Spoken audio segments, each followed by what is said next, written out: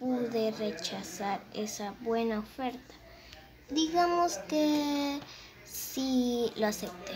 Hey, ya le dije la verdad a, a todos y creo que antes de irme surgió un pequeño problema.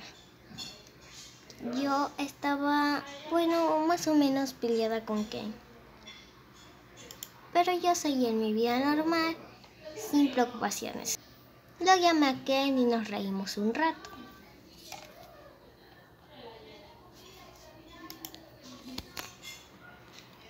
Y escuché. Yo sí pregunté qué puede ser. Estoy asustada.